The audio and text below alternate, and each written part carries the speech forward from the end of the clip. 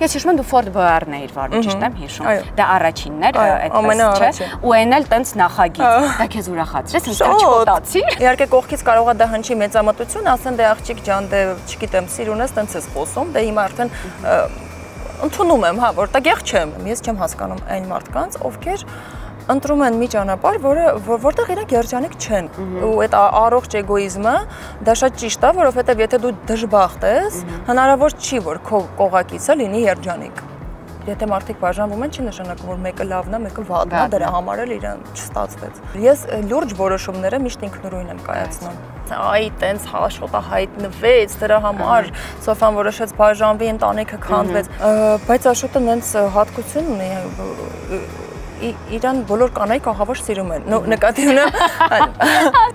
Էլ դա է զում ասի, հա որ երբեք չեմ խոստովանել։ Կյանքը այնքան կարճ է ու ոնց որ այս կյանքին վերաբերել որպես սևագրություն, իսկ ես գտնում եմ, որ ամեն օրը դա կարա լինի քո վերջին օրը։